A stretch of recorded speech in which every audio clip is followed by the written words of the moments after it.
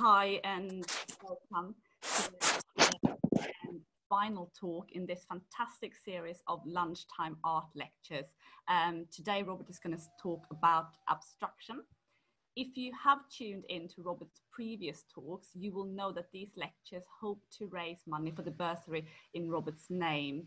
And in September, we will welcome the third of this bursary to Latymer. She is an extremely creative and talented artist. And so far, we have raised just over 1,500 pounds from these three um, lectures. So thank you so much uh, for your support. Uh, every little gift really makes a difference. Um, as I said, after the lecture, there will be a Q&A. So if you have any questions, please feel free to type them in the chat and send to all at any point uh, during the talk uh, and Robert can then cover that uh, later on. So on to today, we are really happy to have Robert back. He uh, is a former Latymer teacher, he's an art historian and a coach. And during Robert's 47 years at Latymer, he brought history to life for his students through a different lens to that offered by traditional textbooks. Uh, Robert used pictures and visual art to create discussion of the historical period. And luckily for us, he still does today. So Robert, on that note, I'm going to hand over to you. Thank you. One of the obvious things about modernism is that it sees the development of abstract art the term abstraction is from the Latin to take away from, to take out of, and it's something that you come across automatically in philosophy, where you make distinctions between uh, concrete words, which are words that describe physical things, as opposed to abstract ideas and words that convey abstract ideas, which are created by the human mind when they induct from the physical world into kind of more general principles of abstract ideas. Now, the philosopher whose ideas, in my opinion, have the biggest influence on the development of abstraction in art is going to be Plato. And Plato famously wrote books about all different aspects of human existence. And he also had his own theory of creation. He produced a book that was entitled the Timaeus, which survived through the Middle Ages in Latin, was read in the Renaissance, and I'm going to claim has an influence right through to modern art. So if Tony, you can go to the full screen, we're going to consider what Plato's ideas were in the Timaeus. Uh, he was someone who wrote about the creation where he believed in a kind of general world soul or mind and that world soul or mind created what exists in the universe. And Plato made a sharp distinction between form and matter. And matter was going to be the physical things that existed in the world. And basically, for them, it was the four elements fire, earth, air, and water. Whereas the thing that gives structure and significance and proportion and beauty and so on to the things that exist in the physical world is when the divine mind adds form to them. And therefore, in the Timaeus, what he did was to talk about what these divine forms were actually going to be.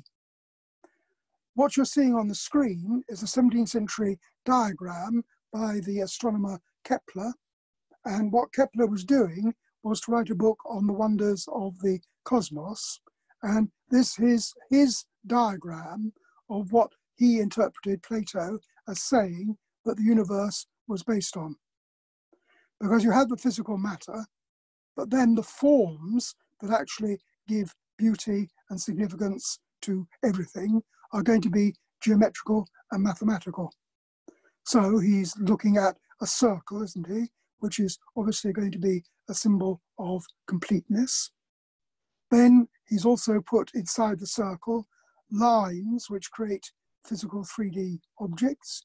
So you've definitely got a cube, haven't you? And then you can see that at the very center you have triangles, and the triangles come together and create pyramids. Therefore, according to Plato, there is a mathematical, geometrical harmony and beauty to the things of the universe. And therefore, that is often what artists have actually tried to recreate. So you obviously know how, if you go to books on architectural theory from Alberti to Palladio, they talk about mathematical proportion and the relationship of geometrical shapes. And if you look at high Renaissance paintings like Leonardo and Raphael, you'll know how often the compositions of the paintings are based around, for example, uh, triangles or circles, and how these are supposed to add beauty to the uh, painting that you're producing. The most extraordinary example of this kind of thinking comes from a Genoese artist called Luca Cambiaso. And if you look at some of his preparatory drawings, this isn't the only one, there are others as well, produced in the late 16th century, you see he's done a kind of cubist analysis of these moving human figures, where, if you look at the figures as a whole, they do actually have apparently these cubic geometrical forms which fit together in the movements of a human being. And therefore, in the Renaissance, there's a clear link between Plato's ideas and abstract forms in Renaissance art. But we're going to look at modernism and the main way in which these kind of ideas entered into modernism was through the influence of the occult. Uh, we're going to see how several artists became followers of Helena Petrovna Blavatsky. And this is Madame Blavatsky, looking suitably enigmatic and wise. And in the 1880s and the 1890s, she created what was called the Theosophical Society. And this Theosophical Society was taking its name from sophistry, which is knowledge, and theos, which is God. And she wanted to produce a synthesis of all the great religions of the world. So she saw parallels between Christianity, pagan religions, and also Oriental religions. And she created a movement that had a very big appeal to the unorthodox in the late 19th century.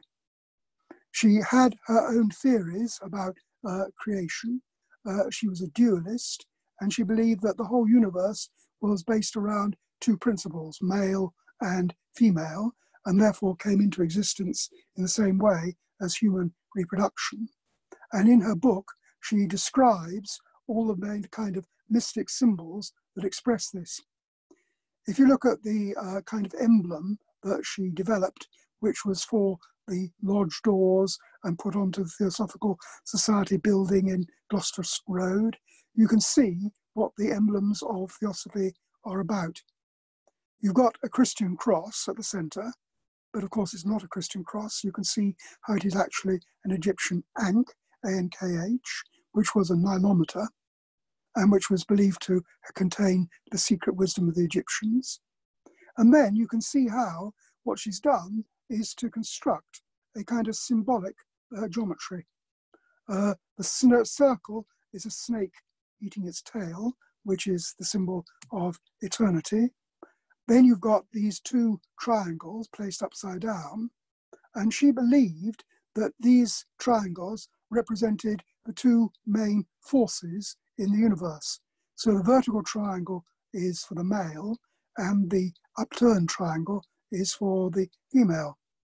And in the 19th century, they argued that the, she argued that the Christian cross was actually derived from this Egyptian ankh and was basically a phallic symbol. And she interpreted the arms of the cross, the vertical as the male principle and the horizontal as the female principle. Her ideas were very widespread. There were lots of branches all over the world of the Theosophical Society, and several of the most significant abstract artists read her books and copied her ideas. A follower of hers, called Charles Leadbeater, produced a book called Thought Forms. And what he did in that was to produce reproductions of thought forms that he believed he had seen. Because taking up from Oriental ideas, uh, there were quite a lot of use of things like drugs and meditation in theosophy. And he believed that actually in your soul, you created various kind of forms which express different sorts of emotion. You can see this one is wild and turbulent. There are others that are meant to be peaceful. And therefore, what you've got is the first ever example of what you might, you might have thought was an abstract painting. This is 1908. And he produced a book full of these illustrations, which are basically abstract paintings.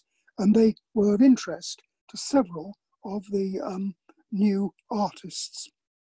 If you consider the development of Piet Mondrian, and you look at what was his famous tree series, you can see over a period of about four years how he starts with the tree at the top, and then by the bottom of this sequence, you're beginning to see what you think of as a typical Mondrian.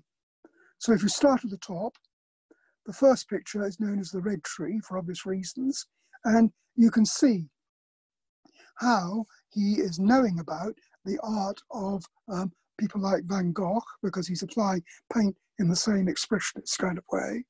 And also, he knew about the ideas of the Fauves that trees don't have to be the colours that you see and can be bright red. The next one is kind of simplified. And you see how he's turning actually the branches of the tree into planes? And this is because he had begun to hear about what was happening with Cubism. And then the next one is becoming an almost completely abstract version. You can hardly recognize there's a tree at all. And then you begin to get the ones that really confirm his new style.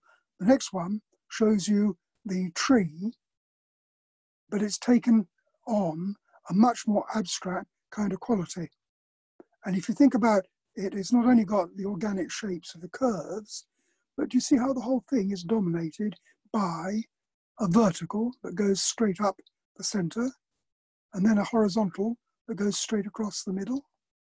And at this time, he wrote about how he'd been reading theosophical ideas in Leadbeater and how the verticals represented maleness and the horizontal represented the feminine, which is directly taken from Madame Blavatsky's books.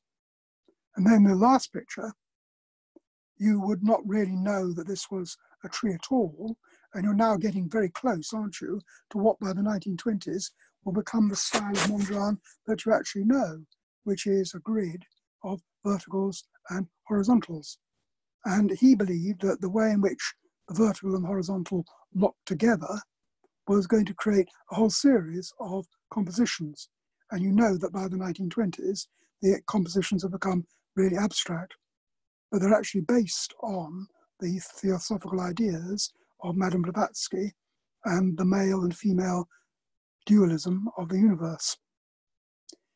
Another artist who read a lot about Madame Blavatsky was going to be Kandinsky. And if you look at Über der Geistige, das Geistige in der Kunst, which translates as On the Spiritual in Art, you're seeing a book that he produced in 1909, which was very influential in lots of ways on the ways in which uh, modern artists developed their style. And his basic point was that he rejected the physical world and materialism. He wanted to return to the spiritual values of art. He copied Russian icon paintings.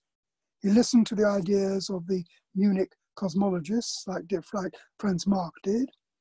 And he believed that what you should do is not have paintings which are bourgeois materialism, which are representations of the physical world, the real world, the world of ordinary life. And instead, he wanted to get across spiritual states of mind.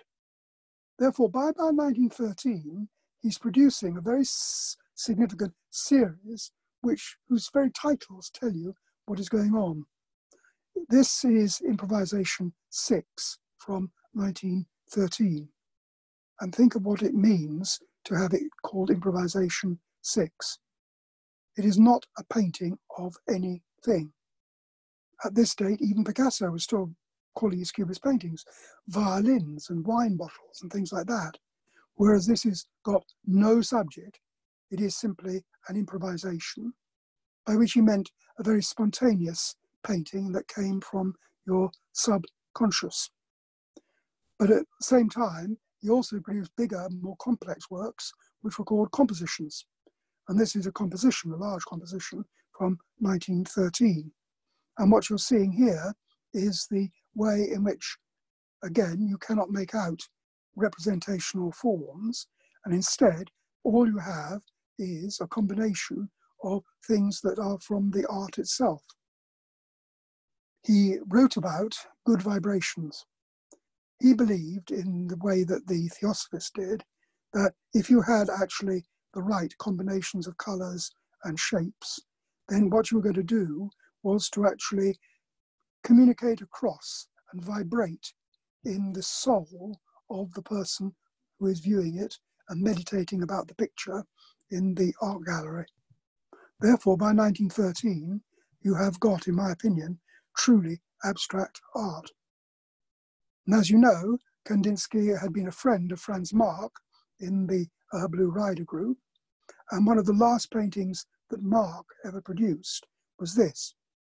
And this is no longer the rather nice animal pictures that Marc produced. This doesn't look as though it's necessarily got very much to do with sort of pantheism and the unity of animals and humans and nature together.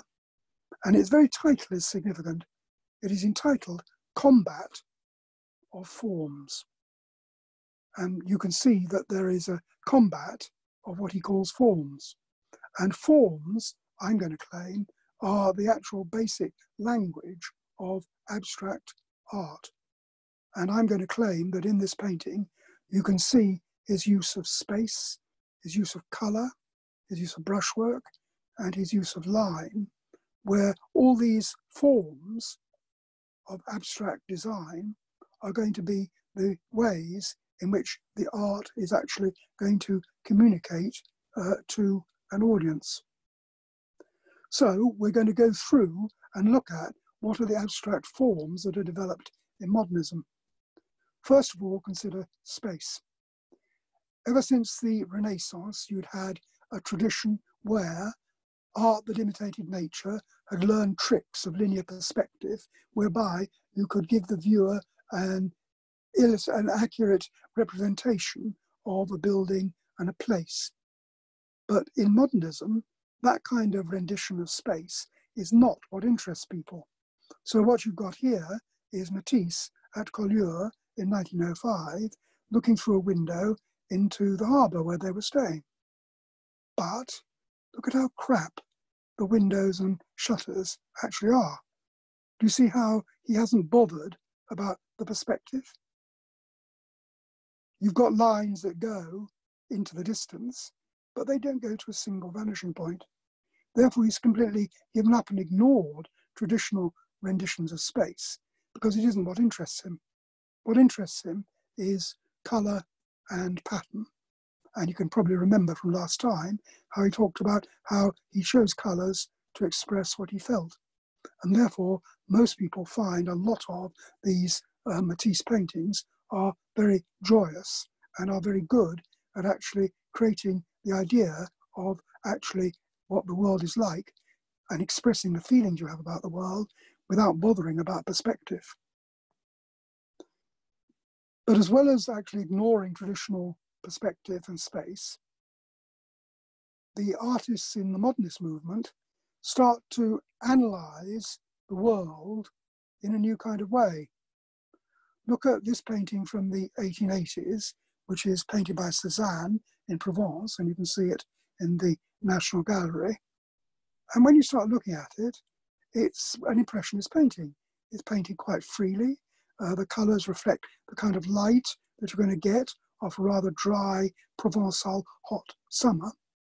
But obviously, the most striking thing is that he's deliberately chosen to paint the rock formation by the roadside.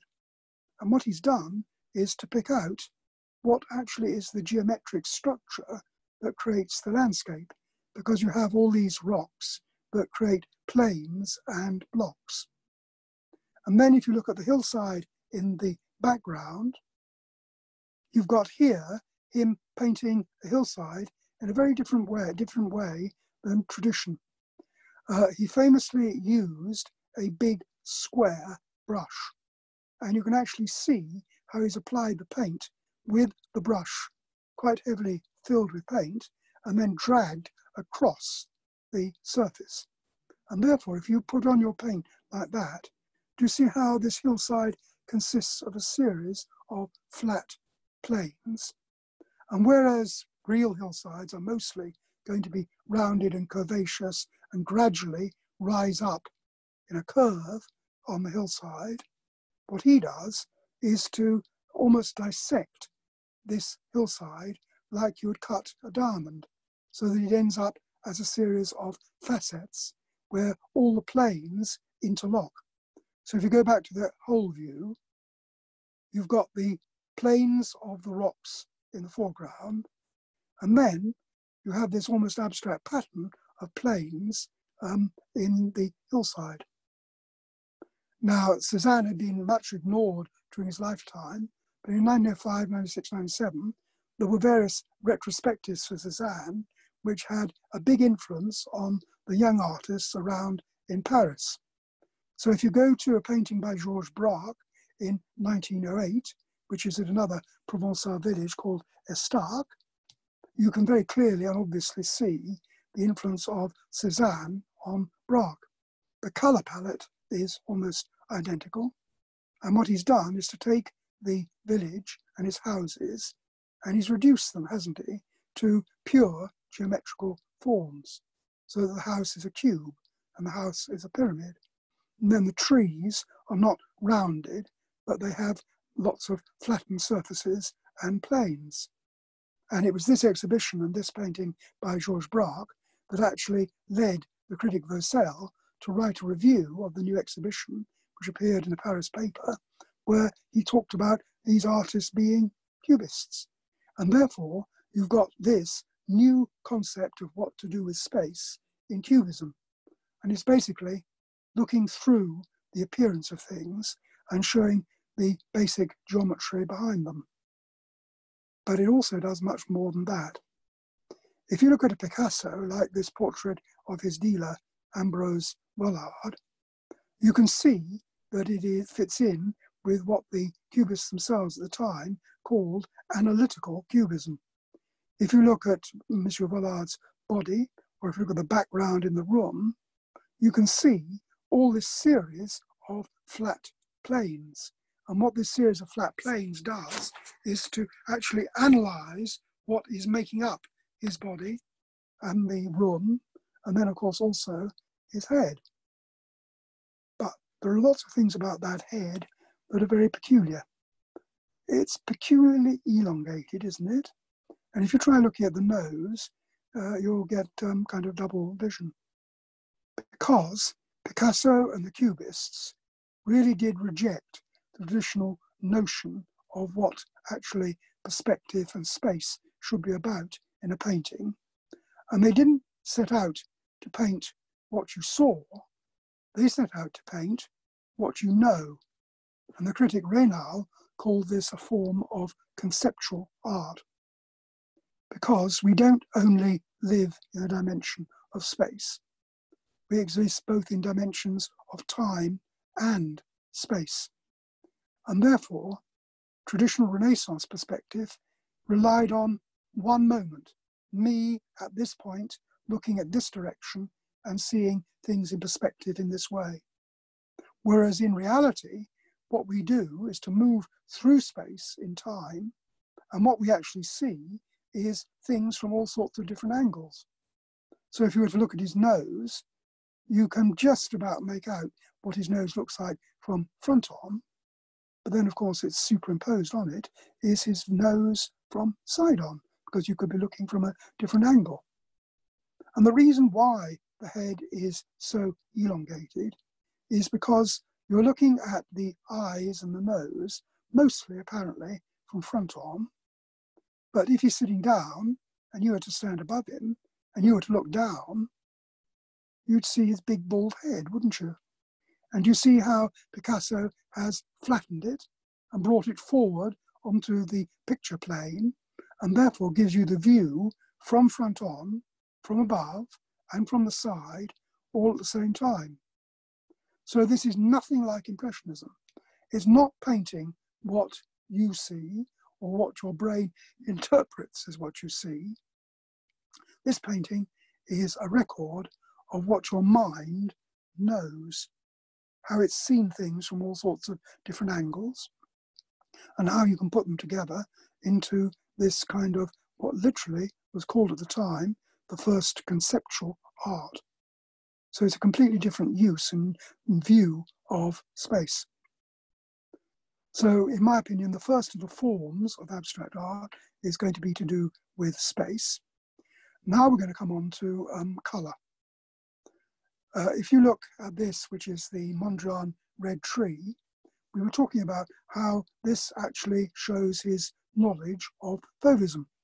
And one of the main qualities of Fauvism is that they didn't think that they had to choose colours by what the colour of a tree actually was, nor by what the colours appeared to be when you looked at it as you saw it in your brain. And instead, what you should do is to paint according to how you feel. And therefore, this is A, a very wild tree in terms of its actual natural growth, but B, it is also distinctly a red tree such as never has actually existed in the physical world. But it may well be a very expressive painting because of the way not only that he's chosen the colours, but also the way in which he has painted it. And therefore, another form of abstraction is the brushwork itself. You may remember when we looked at the Van Gogh cypresses that you could look at them as swaying in the wind in a mistral, or you could look at Van Gogh's brushwork in that painting as the brushwork itself expressing his mental condition. In this one, there's no doubt whatsoever but that the choice of the colours and then the scratched out kind of brushwork that you can see in the foreground, the way in which the background is broken up and so on. The brushwork itself is again making the um, painting more and more expressive. So for colour and brushwork, are forms of abstract expression. I would argue that the greatest of the most enjoyable of the colorists in terms of abstraction is probably going to be Matisse. So if you look at the Matisse La Danse, which is uh, the version in the Hermitage, there's another version in MoMA in New York. But if you look at this, you can see how Matisse, uh, two or three years after going to Collioure, has made the colour almost abstract. Presumably it's a blue sky. Presumably they're dancing in a green field. But these are simply large, flat areas of brilliant colour. And then the figures themselves have this incredible redness to them, don't they? And presumably this is again linked into ideas of life force and blood, and therefore is meant to actually imply life force in the sky, the grass, and then the figures. And you may remember that last time we actually saw the prototype of this in a much smaller painting called Bonheur de Vivre, Joy of Living. And therefore, it's presumably justifiable to interpret this painting as about the joy of life, because you have this kind of wild pagan dance, you have these beautiful, bright kind of colours, and then you have this continuous circle of movement of life in the way it's painted. But Matisse had another form of abstraction that he wrote about. Uh, he thought that often a lot of the skill in painting was how you use line, and he said that what he wanted to capture was essential line. So if you look at the figure on the far left, and you are follow up from the ankle to the armpit, do you see how there is one continuous curve that goes all the way through the outline of the figure? And this is deliberately ignoring what you should do if you were doing an academic life drawing. An academic life drawing was supposed to represent in chalk or something like that the body that was in front of you. And bodies have musculature inside them, they have weight and they have mass, and then they obviously have outline, but almost all human bodies are rounded or knobbly. They have places where bone and muscle bulges out. They have concavities between muscles. What they never have is this continuous line that goes from the ankle up to the armpit. So why does Matisse simplify and make abstract the line of the body? But isn't this what gives the painting its greatest force? If you follow up that line, it leads you round through the interlocking arms, round back to itself. And therefore, if this is bonheur de vivre, the bonheur de vivre is expressed not only through colour, but also through essential line, which captures the key movements that are most expressive in the human body.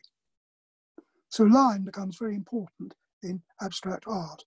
You probably know how Picasso famously gave up doing light and shade and did fantastic, beautiful drawings, which are simply line drawings and outline.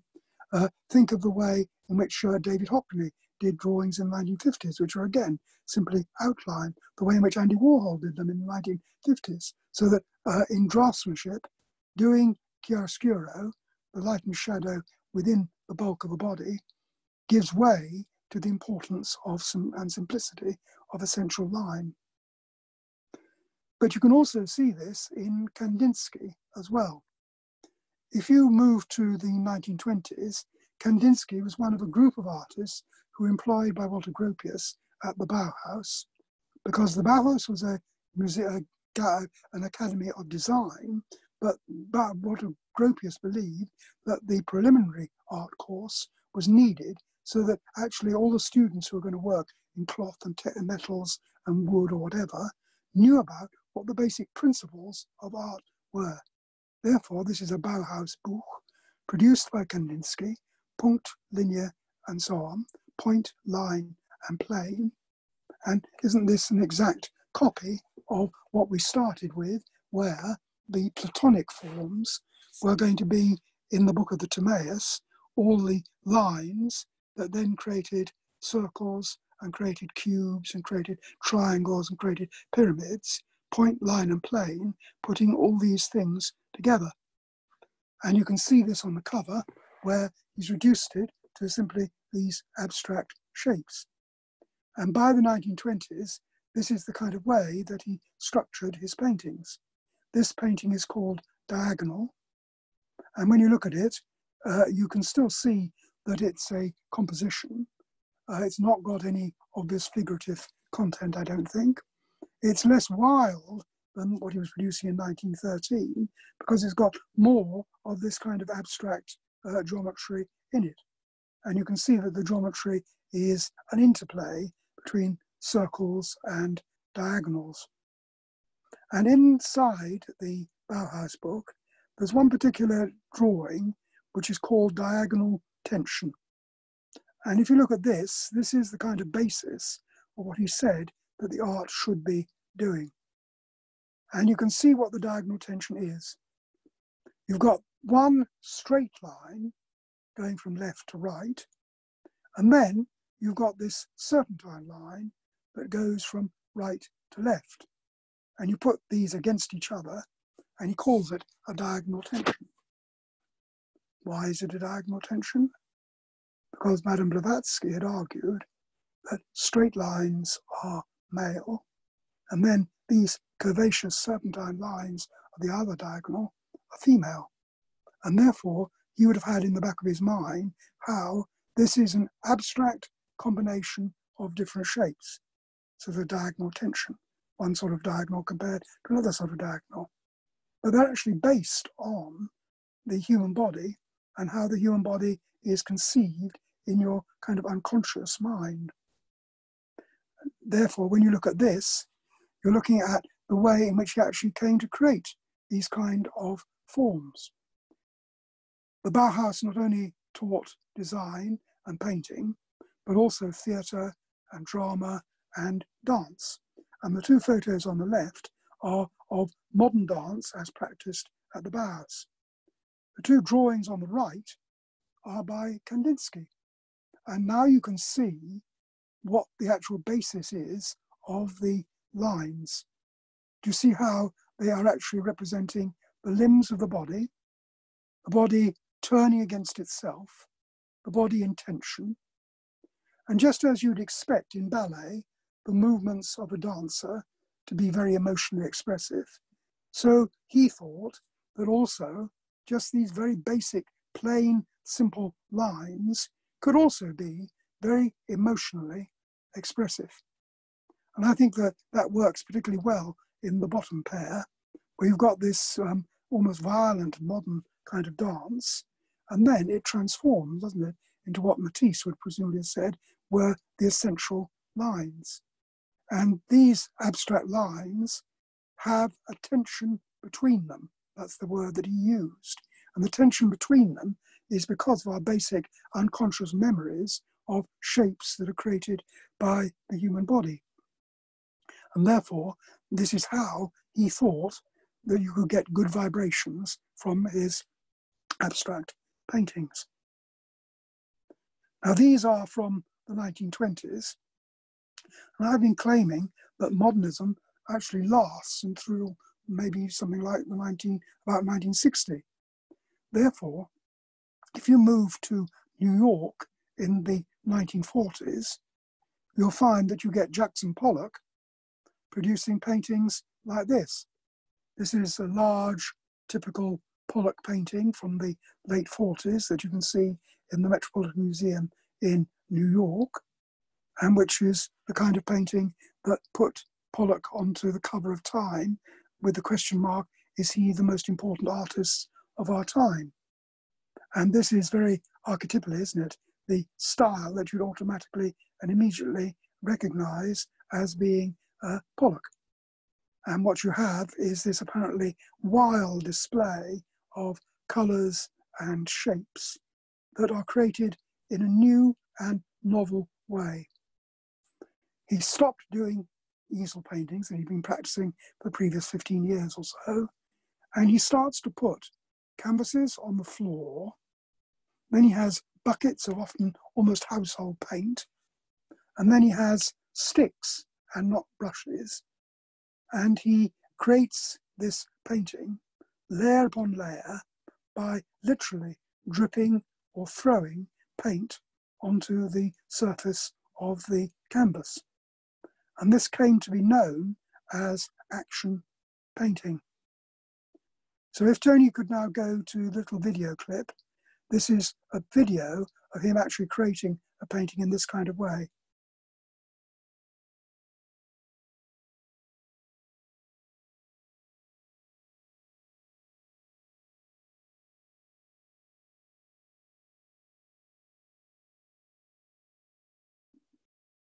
I think the thing to notice in this video is the way in which he is actually looking down at what he is doing.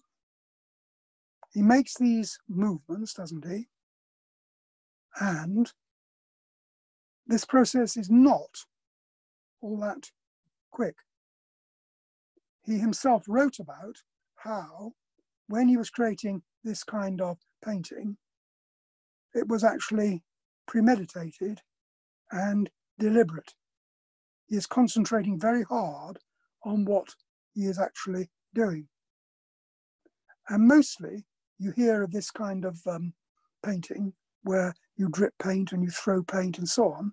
Mostly you hear of its origins as coming from surrealism and from uh, the theories of Breton, where he talked about painting becoming pure psychic automatism, where the automatic movements of your body from your unconscious express your, uh, your surreal unconscious self. But I'm going to argue that that is not really what Pollock is about. So if we can go to Summertime, which is the uh, famous Pollock that you can actually easily see anytime you want in London, uh, this painting is on display most of the time, dates from 1948, and it is, I think, one of the best examples there is of watching what Pollock actually is doing. He is, if you go close up to it in the original, he is putting it on layer upon layer.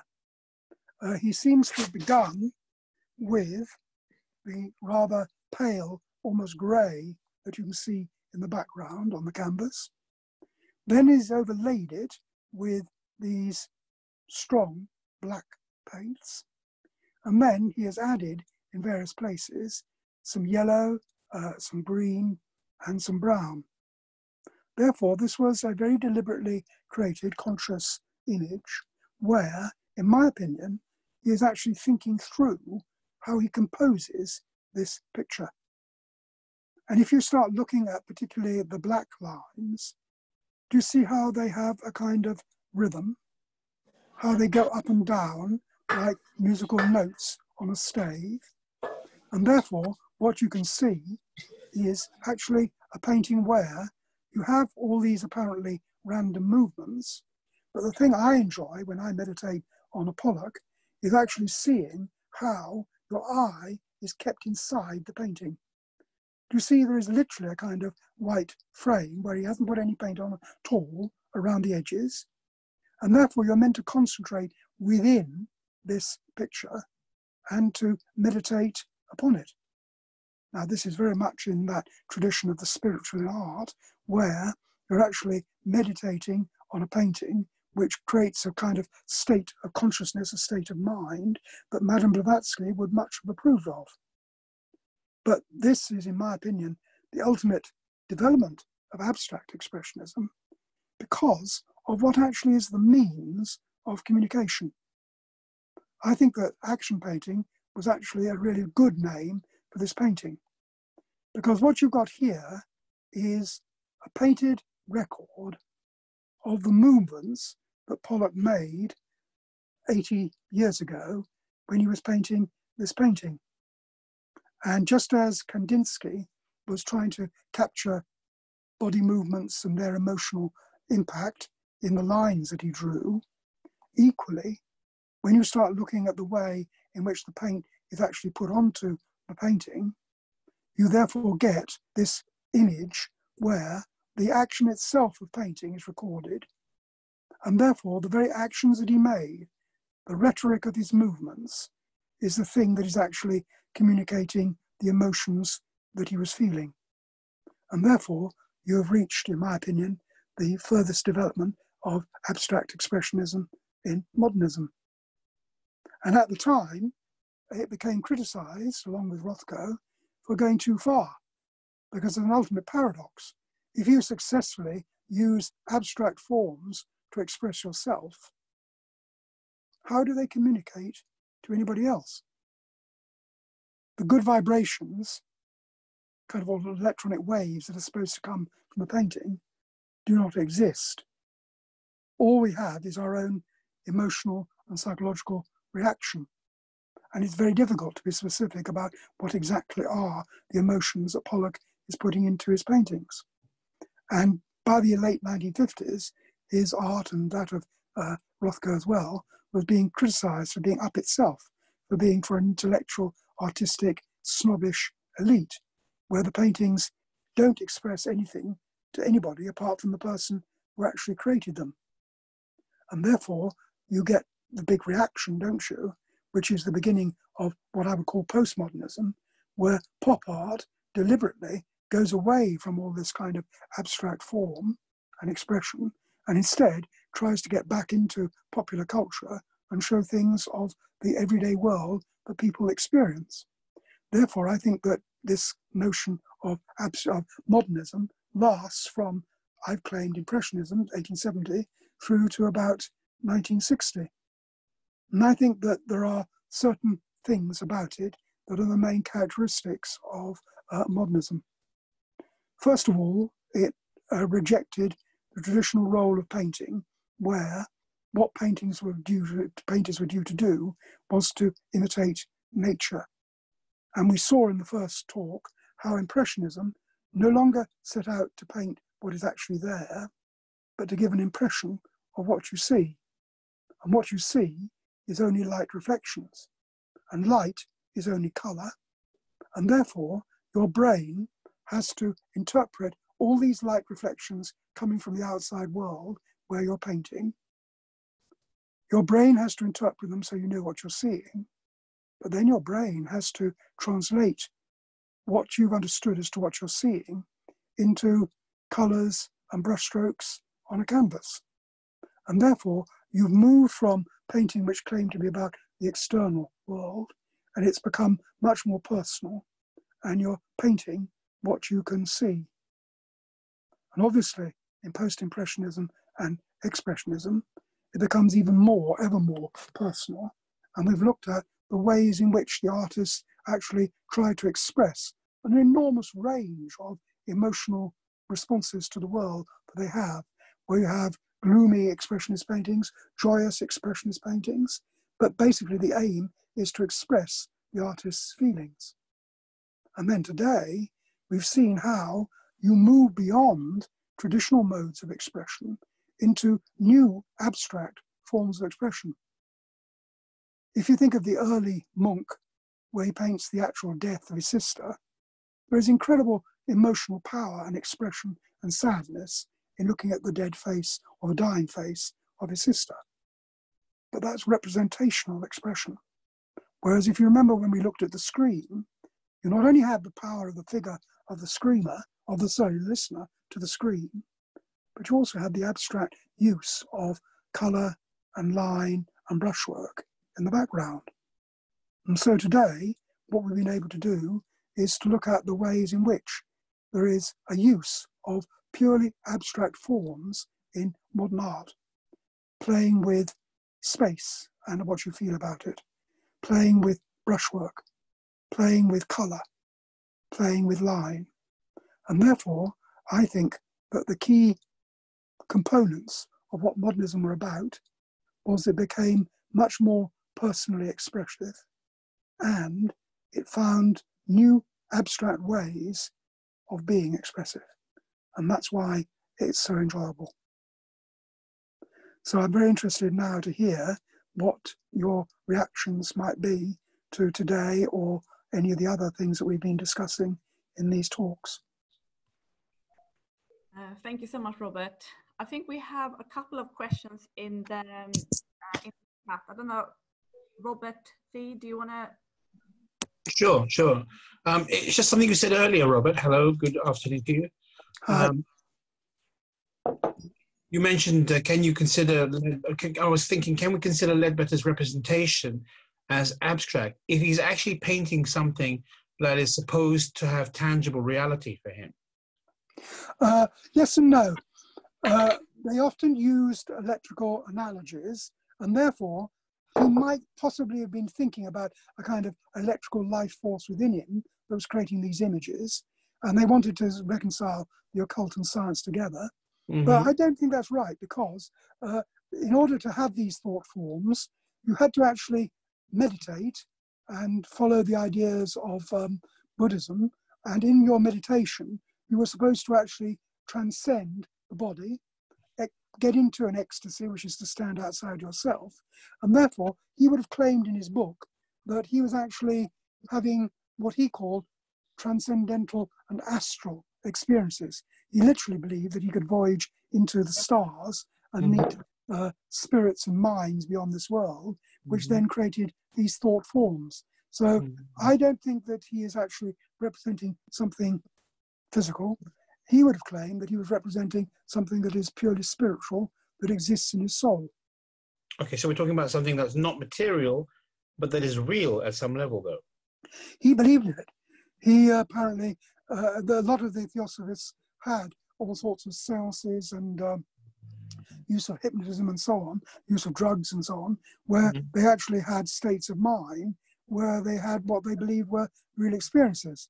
Though mm-hmm. notoriously, when Madame Blavatsky did automatic writing, which appeared in a cupboard in the room overnight, uh, mm-hmm. later than that at the time, people were obviously very skeptical. But in fact, she'd just been writing things and then putting them in the cupboard for the fire the next morning. Oh, but they all believed it. Fair and enough. Lots of other people believed in it as well. I think that people like um, yep. uh, Mondrian and Kandinsky, certainly W.D.B. Yeats, uh, okay. definitely actually took it for real. But then the question arises uh, from the perspective of Oriental art, of the, the Tibetan tradition of painting the metaphysical uh, reality. Yes. Is that an uh, abstraction or is that a Absolutely, but she definitely believed in and used not only mantras, but also yantras. You know what I mean by yantra? Yes, yes, yes. yes. And a purely abstract um, pattern, which is from Tibetan art and which is uh, for you to meditate on. So uh, yeah, there's definitely that kind of Oriental influence on theosophical ideas and, mo- and some modern abstract art. But my, my question is slightly the other way around. Would that kind of analysis then infer that Tibetan art and its representational methodologies are representing abstractions or metaphysical Uh, yes, uh, there's a long tradition of uh, the spiritual in art, uh, spiritual art needing to be um, uh, abstract. Uh, think of the Muslim tradition. Uh, They ban, don't they, figurative representational, and therefore the very lettering becomes the uh, abstract form of expression. And Yeah. therefore you can see it in the Muslim tradition, and I would guess you can see it in the Buddhist tradition, though Mhm. very obviously not in the Hindu tradition. hmm Definitely not. All right, thank you, Philip. I think, um, Greg, did you want to ask something? A- Actually, it's Leslie. We're on the same, Right. same call. Um, yes, I was really struck looking at the Matisse uh, picture of dancers at how similar the composition and form and the fluidity of the figures of the fairies in uh, Blake's interpretation of Midsummer Night's Mm. Dream in Oberon, uh, Titania, Puck, and the fairies Yes. from Midsummer Night's Dream. And I wondered if he was in any way, do we know whether he was in any way influenced by Blake? Because it is Uh, I've never cross, come across striking. any evidence to suggest that Matisse would have known anything about Blake. I don't think he's the kind of writer that Matisse was interested in. I think that the parallel is a very valid parallel. And I think that I would interpret it more in the sense of uh, you try and be a visionary artist, you try and express what you regard as the force of life, which would have meant one thing to um, Blake, uh, and then a completely different, more physical thing to Matisse. And therefore, uh, the way in which the figures are parallel is, I think, more to do with the way in which those forms of human behavior and representing them can be to do with élan vital and life force. Okay. Okay. it's difficult to describe it if you haven't got the parallel pictures because Yeah, but I, I'm sure I agree with you. The parallel's there, but I doubt if Matisse looked at Blake. right. Okay, thank you. Uh, Robert? Yep. Uh, Could you just say a little bit? You, you mentioned just then Elan Vital and Life Force. Could, would Yeah. you mind just embellishing that? Uh, uh, Uh, develop- when I've done this course with you and we've looked at Matisse, I was very heavy on Bergson and Yes. the élan vital. And Yeah. Bergson was a writer from the north, but he was translated into French. And he was very popular in the early 20th century in Paris. And he had this notion of élan vital. And what he was doing was to accept the Darwinian notion of nature and life force and to turn it into what he believed was a kind of value system of what was going to be good against the material world. And I think you can see a direct parallel between Bergson and élan vital and those Munich cosmologists that we were talking about last week, where they believed in a kind of uh, life force in the blood of animals and the sap of the trees and the blood of humans and so on. And therefore, I think it was a very general movement at the beginning of the 20th century, which looked at actually how you could base your morality on humanism and the life force within humans. And it was given a vast boost by science, where the science showed how much of what is going on inside human beings is actually to do with electrical impulses. And therefore, they're constantly using uh, in Leadbeater, in um, Bergson, and in the Munich cosmologists, they're constantly using electrical analogies of this life force which was within us.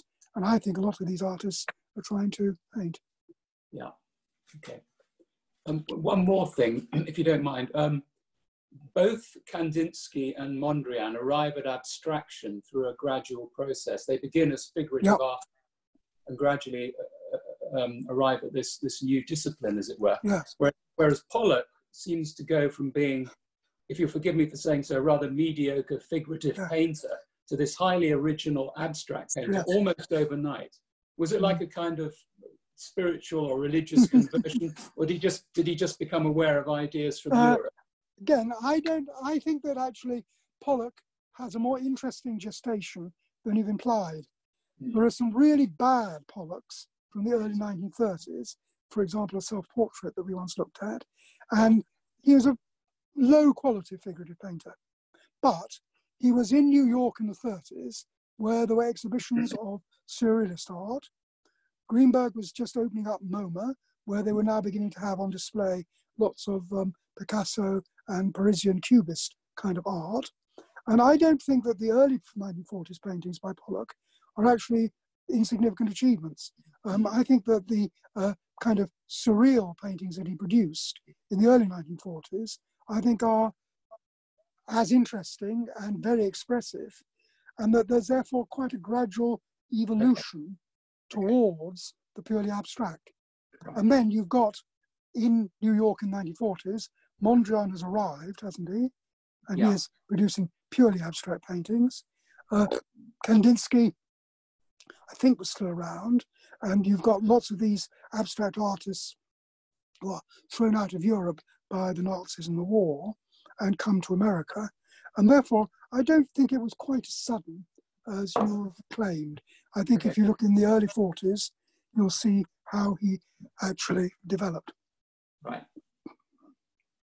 I have a question, if if if it's okay, Robert. It's Yeah. um, something you mentioned about. Hang on, I'll put my video on. Something you mentioned about um, that that at, at, a certain point, like Pollock and all those, that um, this level of abstraction just became too personal to be of meaning for other people, Mm. and so we have a reaction in terms of popular art, pop art, and stuff like that. But then you get postmodernism comes around. I mean, in terms of literature and, and its ideas there, which basically says actually everything is a text that is regenerated in every moment Mm. with every person. So, Yeah. sure, um, it, when we look at Pollock today in the 20, in 2020, we are recreating it for ourselves. Uh, regardless of what Pollock's state of mind was, we have to reconstitute it and Mm. re-enter. It still has a validity. I tried not to say that I thought that they produced a dead end and only expressed them about themselves and not to others. What Right. I what I think I said was that critics at the time said that that was what they were doing, and Yes. therefore it encouraged the next generation on to turn away from it and into pop art. But I'm on your side. I think that uh, actually uh, the very abstract art of Pollock and Rothko is very expressive, and that the notions that it is only expressive for the artist creating it are completely wrong. And I get lots of pleasure out of looking and meditating on Pollock's and Rothko's. Mm, and I would say that it, psychologically, if they're expressing something so profound with themselves, there may be resonance with somebody else viewing that. It must, it may trigger something.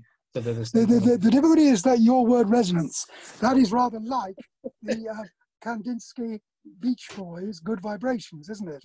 Uh, I was trying in what I was doing to put it into a more humanist psychology because I kept linking, didn't I, uh, the abstract forms to probably the first experiences of your body as a baby.